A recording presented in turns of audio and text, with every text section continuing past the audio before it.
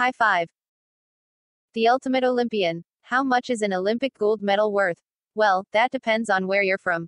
What I can tell you for certain is that nobody from the United States will be living on easy street regardless of how well they perform at this year's Summer Games in Tokyo, Japan. Stateside athletes pocket just $37,500 for capturing gold.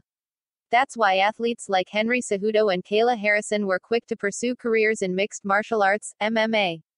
Cejudo parlayed his gold medal in wrestling into a bantamweight title for UFC, while Harrison piggybacked on her judo gold medal to usurp the lightweight crown in PFL. Karate practitioners could soon follow suit.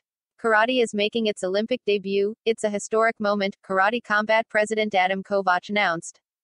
Karate Combat is offering a six digit contract to anyone who wins the Olympic gold medal in karate. Representatives from Karate Combat are on location in the Land of the Rising Sun, and will also be recruiting select silver and bronze medalists, as well as non medalists who deliver outstanding performances. Both male and female. We want the elite karateka of Tokyo to know that their journey doesn't end here, there's a professional contract waiting for them if they want to take that next step, Kovacs said.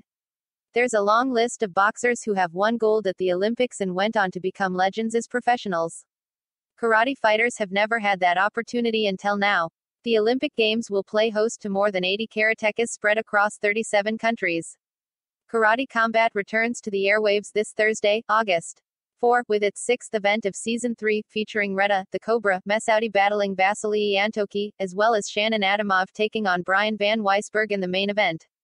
For complete episodes and event recaps of Karate Combat click. Punch the like button and kick the subscription bell.